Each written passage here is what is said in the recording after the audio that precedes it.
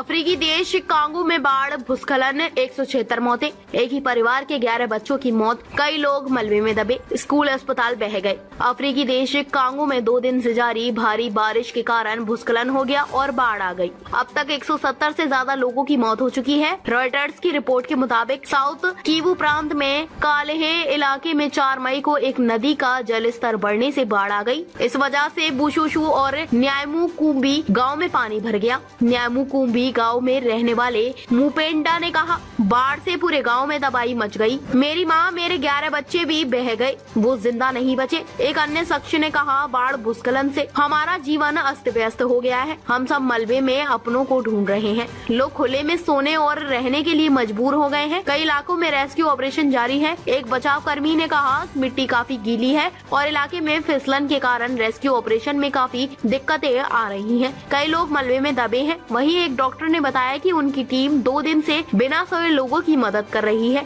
उनके पास एक दिन में छप्पन से ज़्यादा पेशेंट्स आ रहे हैं। इनमें से 80 प्रतिशत लोगों को फ्रैक्चर हुए हैं। कांगो के पड़ोसी देश रवांडा में भी भारी तबाही हुई है। दो मई से शुरू हुई बारिश ने यहाँ भी बाढ़ और भूस्खलन का रूप ले लिया। यहाँ अब तक 130 लोगों की मौत हो चुकी है। 5000 से ज़्यादा घर तबाह हो गए हैं। एक रिपोर्ट के मुताबिक पश्चिमी प्रांत में करीब 17 सड़कें 26 ब्रिज पूरी तरह से तबाह हो गए। सरकार ने प्रभावित इलाकों में मदद के लिए राहत सामग्री भेजी है। रेस्क्यू ऑपरेशन भी जारी है।